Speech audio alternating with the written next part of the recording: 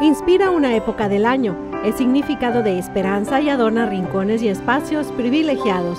La planta de Nochebuena llegó a Culiacán, lista para la venta y permanecer en los hogares como punto positivo y ser símbolo de unidad.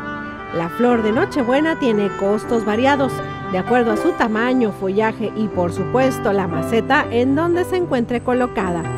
Es una planta ornamental nativa del suroeste de México con abundante follaje rojo que simboliza la Navidad alrededor del mundo. Para las noticias, imágenes de Ernesto Cuen, reporta Damaris López.